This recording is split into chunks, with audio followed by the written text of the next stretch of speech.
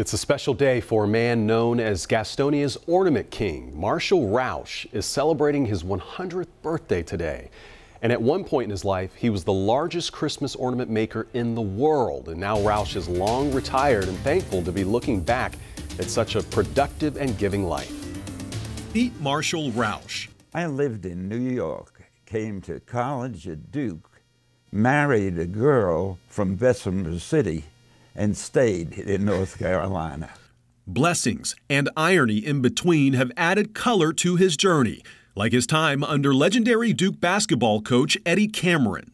I played on the freshman team at Duke uh, that first year, 40 41. Junior year duty in World War II called, and he answered. I wasn't the only one. Thousands of young men were taken out of college and uh, went into service.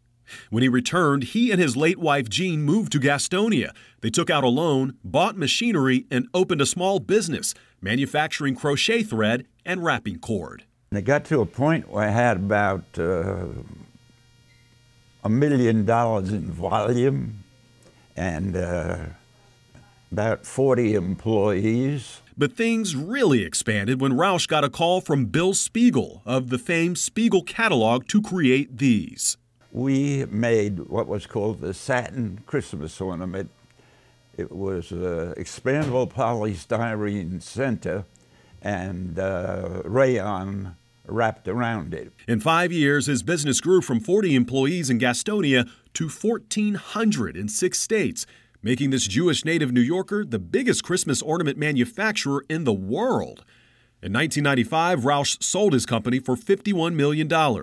Business prospered. But more than a prospering business, this 100 year old credits serving others for his longevity. At 29 years old in Gastonia City Council, working closely to integrate the community. Then in North Carolina State Senate, later landing on the Board of Governors that runs the university system. With five children and a wealth of impact, he says the one thing he values most is charity. I really like the idea of helping someone, and then it never have to be helped.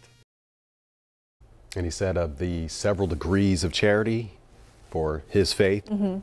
uh, Judaism, that is the highest, and he is a man of faith, but yeah. obviously the fruit of his life adding to the length of his years. Yeah and incredible stories. Yeah. And I had no idea that he was tied to those types of ornaments. We've all seen them. We had the epiphany now when I looked at your piece, and I was Ornament like, "Oh, look. King look!" in Gastonia. Happy birthday, Mr. Rauch. Yeah, happy birthday. Yeah.